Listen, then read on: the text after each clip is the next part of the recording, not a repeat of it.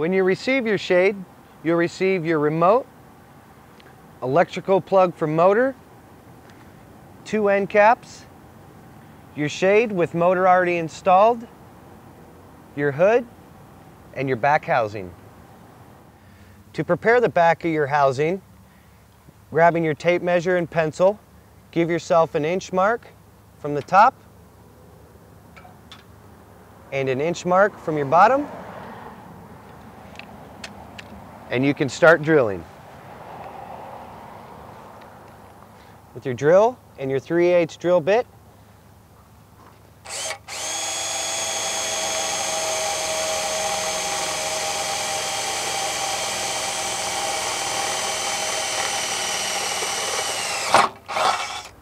you can drill your second hole.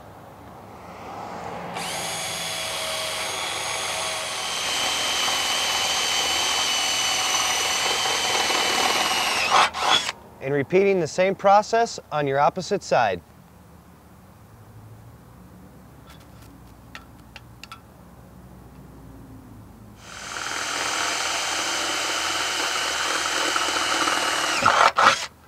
Now that you have your two holes drilled for your mounting surface, make sure you make a third hole for your motor wire. To install your end caps, you want to grab your Phillips head screwdriver and take your screws out, setting them off to the side.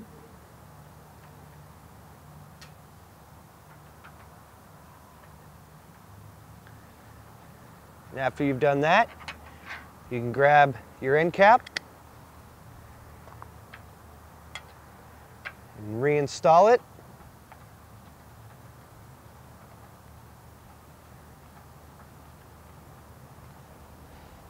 Now, after you've inserted your last screw, you want to ensure that your end cap is nice and snug up against your housing.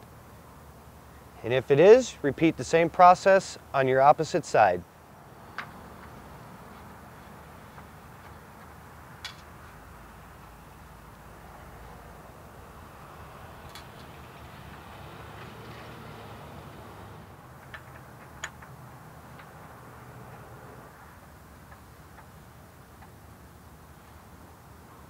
To hang your housing, you and your partner will put it up against your mounting surface.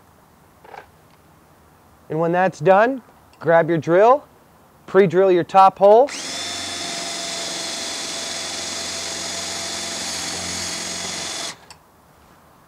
You got that? Grab your other drill and your lag.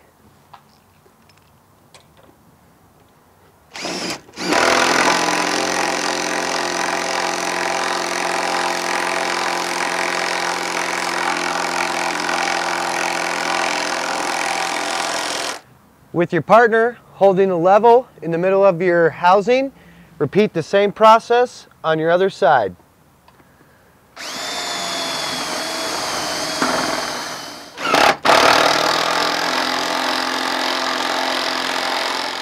Now you can install the rest of your lags.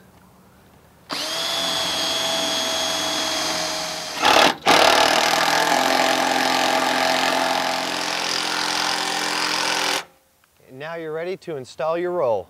To hang your shade, you want to start with your pin end side, inserting it into the bracket. To install your motor side, you want to first start with bringing your motor wire through the third hole that you drilled. When that's ready, then you can install your motor head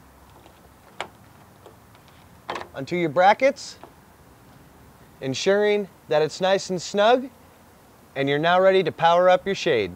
And now that your shade is installed, the next step is to remove your hood screw with a Phillips tip screwdriver.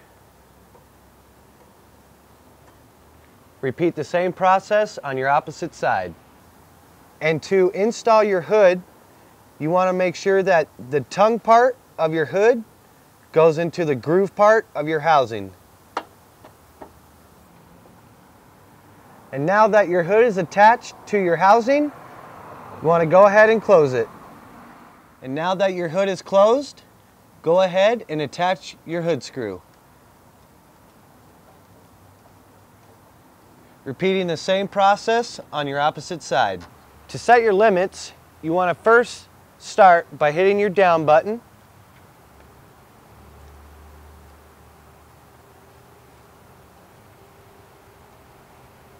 When your shade stops, using your down and up button at the same time, wait till your shade jogs up and down once. Using your down button, you can lower your shade to your lower limit.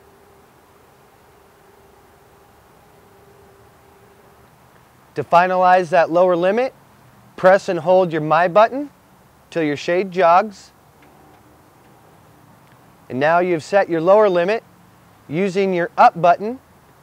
Bring your shade up until it stops. When your shade stops, using your up and down button at the same time, hold them until your motor jogs up and down once.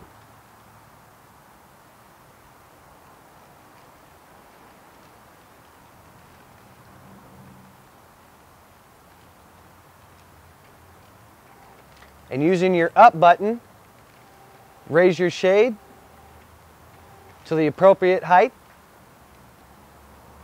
To finalize your upper limit, press and hold your My button till your shade jogs. And you're now ready to run your shade. To operate your shade down, hit your down button on your remote.